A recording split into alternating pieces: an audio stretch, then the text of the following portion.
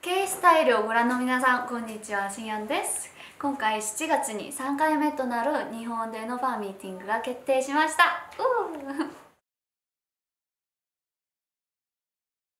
어, 지난번에는 제가 노래방으로 여러분들하고 굉장히 흥을 돋구었었는데요. 이번에는 또 다른 새로운 게임 그리고 여러분들과 같이 즐길 수 있는 여러 가지 아이템들을 준비하고 있으니까요.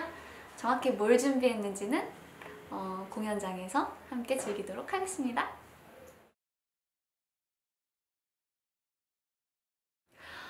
아, 또 오랜만에 일본을 가게 되어서 음, 글쎄요. 이번에는 뭘 하면 좋을까요? 그동안 필요했던 많은 것들을 구비를 하고 어, 아무래도 먹을 거겠죠?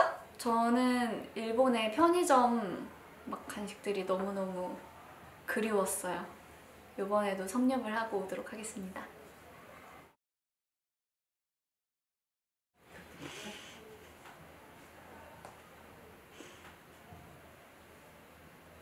네, 이번 여름에는 또 7월에 만나 뵙게 되었는데요. 7월에는 생일도 있다 보니까 여러분들이랑 만나는 게 더 기대되는 것 같아요.